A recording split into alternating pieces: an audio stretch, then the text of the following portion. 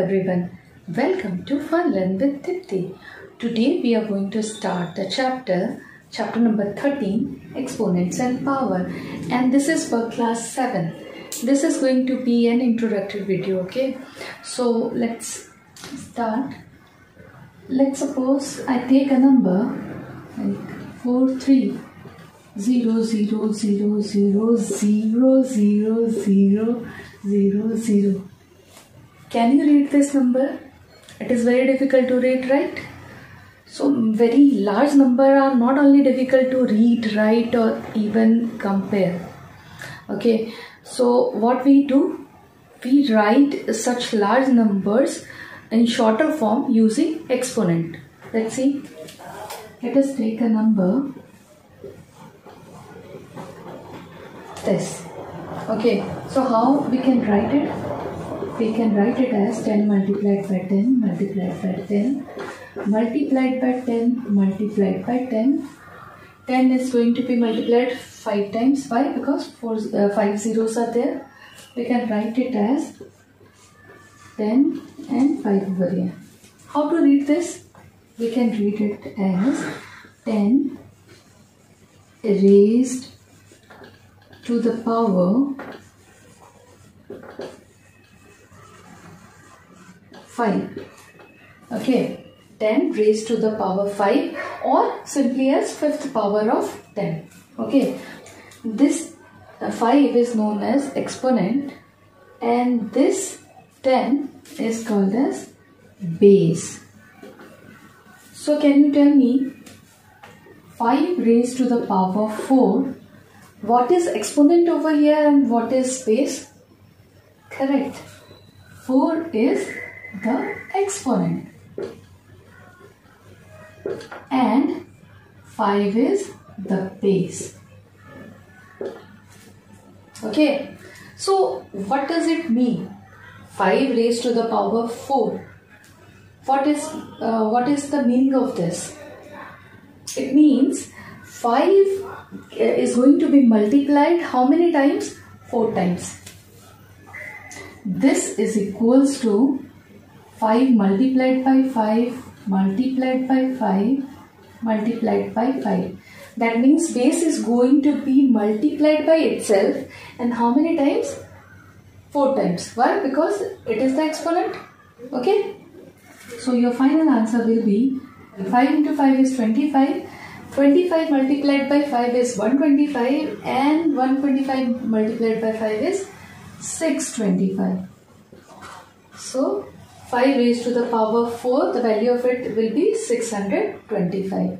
Right. In the same way, we can write 27 as 3 multiplied by 3 multiplied by 3 and which is equals to 3 raised to the power 3. Now try to find out how we can express this. We can express this as 3 multiplied by 3 multiplied by 3 multiplied by 3 okay? And this is equals to 3 to the power 4 now let's suppose we are uh, talking about this uh, positive integer right? But if it is a negative number if the base is negative let's suppose 1 to the power any odd number if the exponent is odd number, then the final result is going to be a negative 1. The answer will be minus 1. If minus 1, any power of odd number, then minus 1 will be the answer. If minus 1 is the base and the power is even, then your answer is going to be positive. Plus 1 or simply 1 okay so let's suppose I take one more example. Minus 3 raised to the power 3 so the answer should be in minus negative 3 raised to the power 3 is 27 so the final answer will be equals to minus 27 and if I write minus 3 raised to the power 4 then our answer will be only 81 plus 81. Why? Because the exponent or the power is 4. Right? Now we will discuss the laws of exponent. The first one where the base remains the same. Base if the base is same. Okay. So the first one. If the base is A and it has got different exponent m and n. Then the result will be a raised to the power m plus n. Okay? Base are same.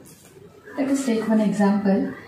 3 to the power 4 multiplied by 3 to the power 2 so your answer will be we have to take the same base that is 3 and we have to add the two exponent. That is 4 plus 2 so your final answer will be 3 raised to the power 6 now we will see the next case. When the base is same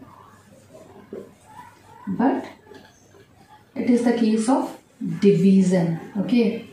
So what will be our answer? A m minus n. Okay now let us take one example. Again we'll take the similar kind of example.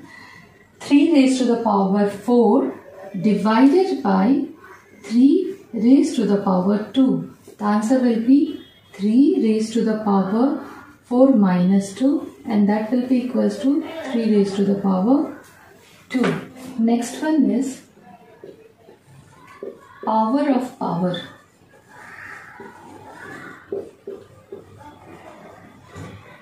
That means if A is there and let's suppose its power is m, A raised to the power m and its power is n. Then what we are going to do? We just have to multiply these powers, this exponent, okay? m multiplied by n. Let's see similar example. 3 raised to the power 4 raised to the power 2 is equals to 3 raised to the power 4 multiplied by 2 and that will be equals to 3 raised to the power 8.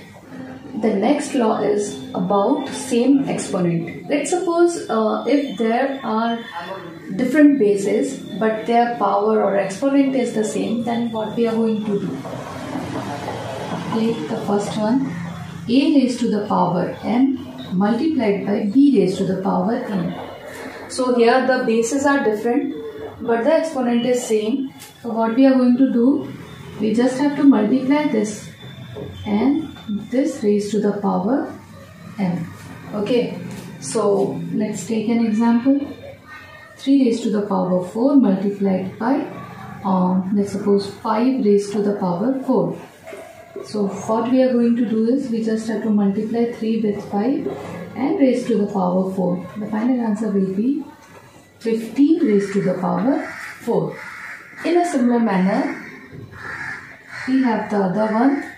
Let's suppose a raised to the power m divided by b raised to the power m. That will be equals to a by b raised to the power m. Okay, let's take an example. 5 raised to the power 4 divided by um, 3 raised to the power 4. So we can write it as 5 by 3 raised to the power 4. Simple. Now, if suppose the power is 0, let's suppose if I take a to the power 0. So what is the answer here? Is it going to be 0? No, it's not. A raised to the power 0 is equals to 1. If I write 5 raised to the power 0, the answer will be 1.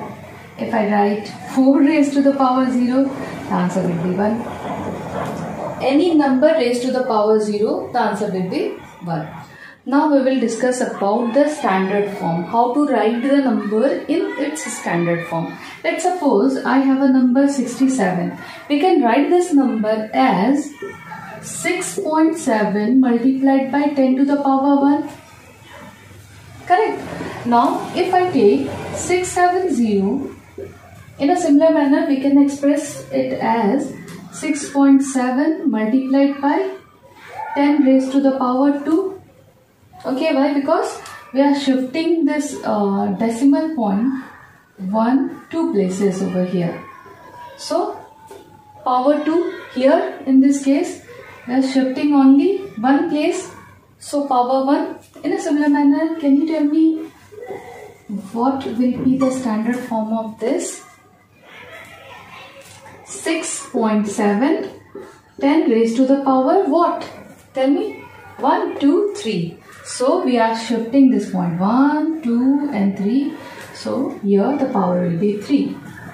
Okay, I hope all of this is clear and if you have got any kind of doubt you can just write in the comment section